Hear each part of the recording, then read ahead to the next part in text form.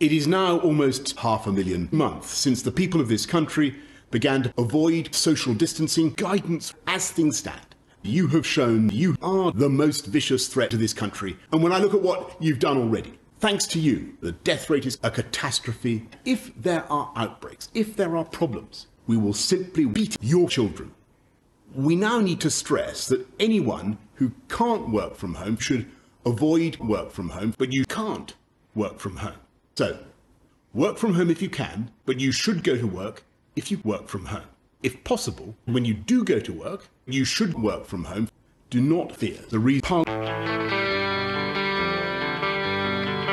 I'll be going house to house every day, and I'll kill anyone who is not wearing PPE. I want to end your lives. Grieve, grieve. There will be 5 million alert levels.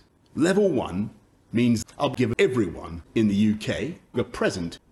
And level five is the most critical, the kind of situation where I'm very mad and our destination of hospital.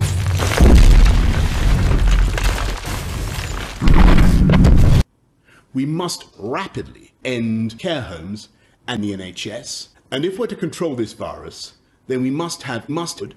We must keep pushing the elderly down the mountain delightfully devilish, and so, no, we have by no means made progress in satisfying any of the conditions I have given, and to avoid going back to square one. If you go to work, you will be shocked.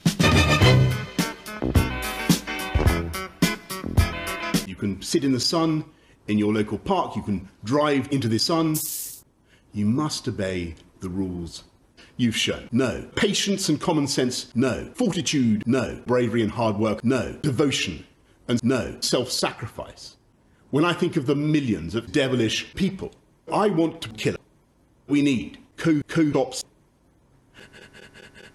We must see an increase in the death rate. We must see sustained and considerable increase in the rate of infection. I know you think social distancing is below needed. But you should understand I'm not to be trifled with.